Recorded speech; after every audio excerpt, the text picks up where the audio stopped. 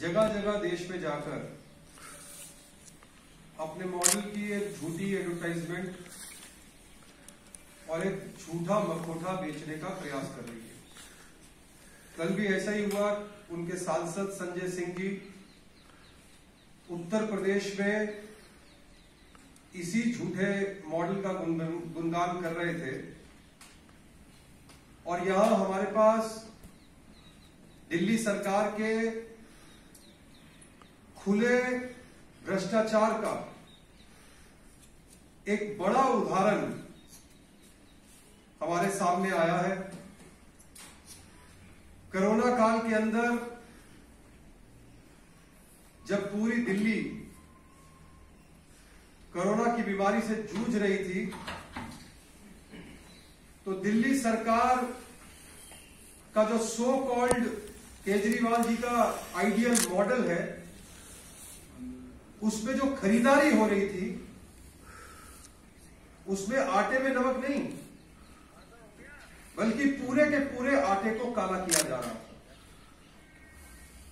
और भ्रष्टाचार की इतनी बड़ी कहानी कि जिस ऑक्सीमीटर की कीमत एक साधारण आदमी को भी पता है, जब से ऑक्सीमीटर नाम की ये जो इक्विपमेंट है कोरोना काल के बाद जब जनता के बीच में पॉपुलर हुआ तो हम सबको ऑक्सीमीटर की कीमत पहले दिन से लेकर अब तक पता है। अब तो वो ऑक्सीमीटर जो है वो 300 और 600 रुपए, ग्यारह सौ पचानवे रुपए ऐसे ऑनलाइन अब तो मिलता है। आज से दो तीन महीने पहले पाँच सौ हज़ार रुपए इससे महँगा मिलता था। ऑनलाइन का जमाना है डिजिटल युग है। जब भी आप जाएँगे, किस महीने में क्या दाम था, वो कोई भी देख सकता है। लेकिन केजरीवाल साहब की ईमानदार, जिसको वो कहते हैं सरकार ट्रांसपेरेंट सरकार, जिसका वो गाना दुनिया जहान में गाने की कोशिश कर रहे हैं, उसने एक ऑक्सीमीटर छियासठ हज़ार तीन सौ बीस रुपए में खरीदा।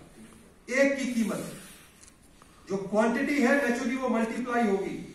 एक ऑक्सीमीटर छियासठ हज़ार तीन सौ बीस रुपए में खरीदा health and family welfare department ने खरीदा।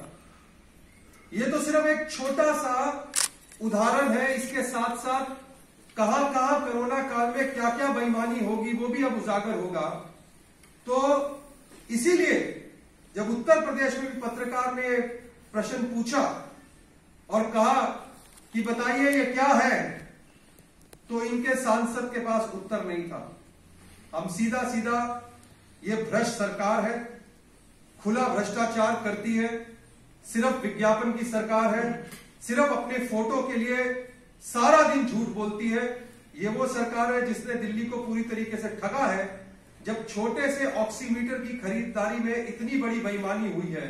तो बाकी सब जगह पे क्या हुआ होगा? ये हमको पता लगाना है। तो हम कहते हैं कि केजरीवाल जी सामने आए, उत्तर दे सीबीआई की जाँच कराए और बताए कि कैसा मॉडल उन्होंने दिल्ली के लिए खड़ा किया है। बहुत बहुत धन्यवाद